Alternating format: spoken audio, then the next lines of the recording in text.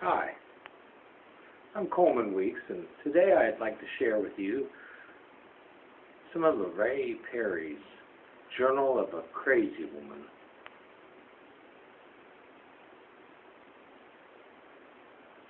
This should be interesting. I'm going to read a little of chapter 1, Keeping a Journal. Chapter 1, December 26th.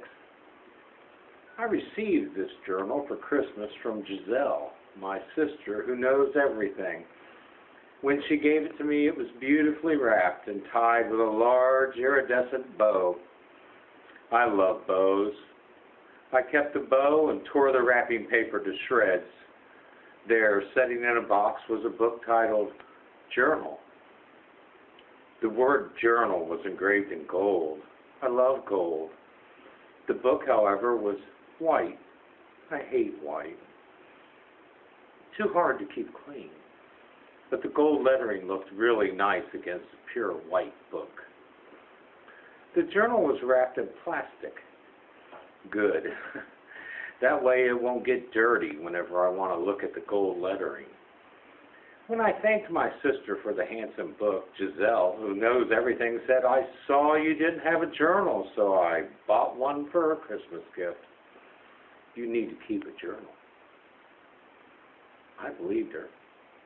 After all, she knows everything. I kept this very journal in a plastic cover in the original box for five years.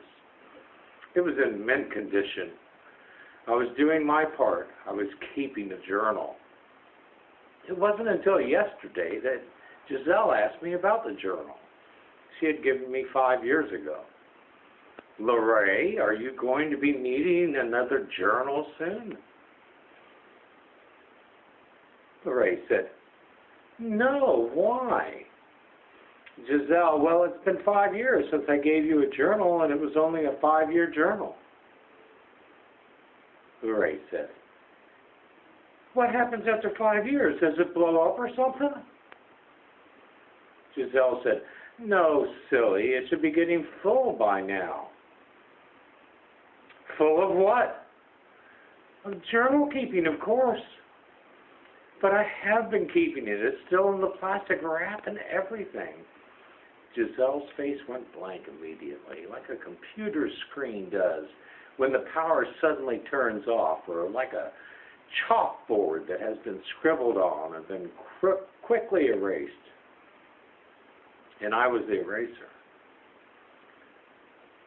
What's wrong? You're supposed to write in the journal. What do I write? About your day, your life.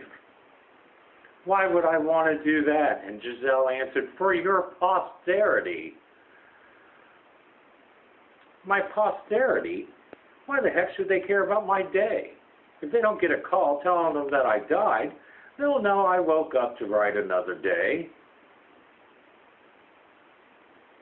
Giselle's eyebrows squashed together, her face kind of folded into itself. What does that even mean? Ray answered, I don't know. You're the one who said my posterity wants to know what I'm doing every day. Who cares? Maybe I don't want them to know. Did you ever think of that? Who cares if I answer the phone on the first ring or let it ring and ring? Certainly not my posterity. They should mind their own business anyway. Sometimes I don't want to answer the phone, so there. Giselle's face went blank immediately, like a computer screen does when the power suddenly turns off, or like a chalkboard that's been scribbled on and quickly erased. And I was the eraser.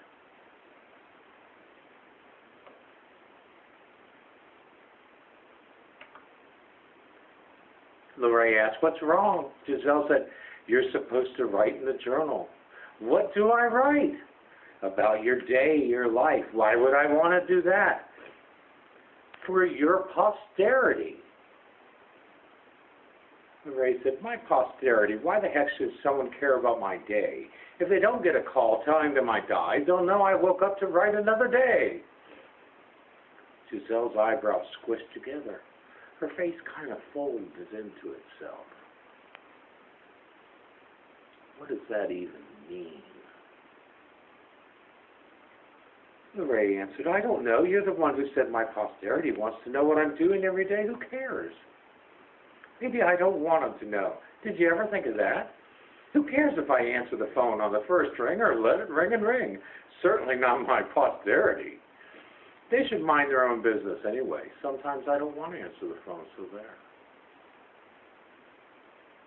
Giselle said, you totally misunderstand how one keeps a journal. The Ray replied, Nah, I kept a journal for five years, not one mark on it. That's my point. What's your point? Just write in the journal I gave you, okay? What do I write? About your day. Who cares about my day? I'm getting off this merry-go-round right now. Ray looked and said, What merry-go-round? No answer, which she thought was really rude. Giselle walked away from her. She thought I wasn't looking whenever she threw her hands up in the air. I can take a hint. I don't need a door to fall on me. She threw her hands up in the air and I gave up gesture. I've seen that gesture many times before, Lorraine thought to herself. Lorraine pondered. I guess I'm on my own journal keeping or writing thing. What do I tell a journal? Why would I want to tell a journal anything? Why does my posterity want to know? The little snoops. I guess I'm going to give this journal writing a try. My sister, who knows everything, should have explained the writing part of keeping a journal better. Maybe she doesn't know everything after all. I don't know what I'm going to write, though. I still have so many questions. Do I say hi first or ask it how my day's going? When I'm done writing, do I tell it goodbye? Crud. There's so much more to journal writing than I originally thought. I'd rather just keep a journal if you want to know the truth.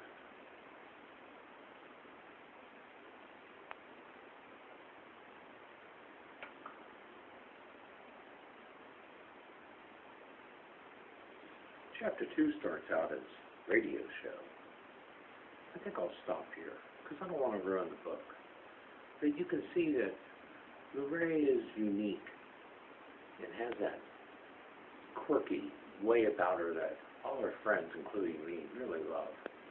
So please, when you have the time, why don't you go review the journal of a crazy lady. Thank you.